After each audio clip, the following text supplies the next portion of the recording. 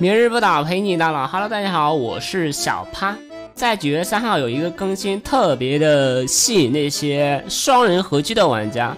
留言板大升级，共血合居手账、爱心便当、摆放合居相框、尽享派对折扣、合居日程新内容、流程优化。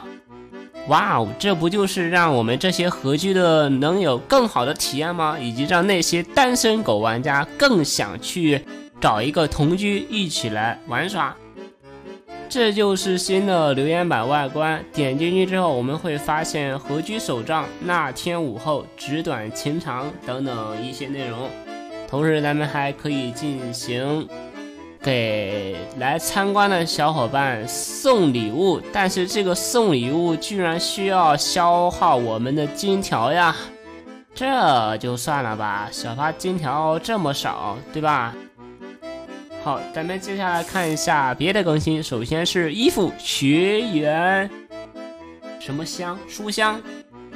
哇哦，这衣服买了绝对不亏。为啥呢？因为送了一个书架，不仅男角色有，女角色也有。唯一的差评就是啥呢？这衣服居然他喵头饰跟服装是连体的呀！秋日签到，我们可以领到小背包。但是这个背包看起来并不怎么好看的样子。还有秋日礼，这个咱们需要完成任务，每周还可以领取每周福利。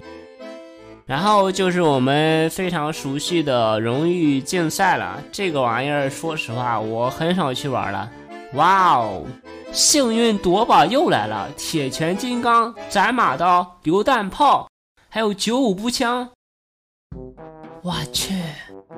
而且那个全程热恋的皮肤，彩色的哇，太好看了吧！这个我的天，还买啥皮肤呀？直接抽就行了，对吧？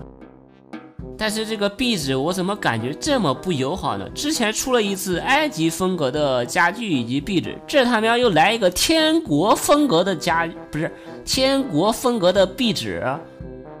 这玩个明日本来就够干了，这他喵的还给整个天国壁纸，我咋越想越不对劲儿呢？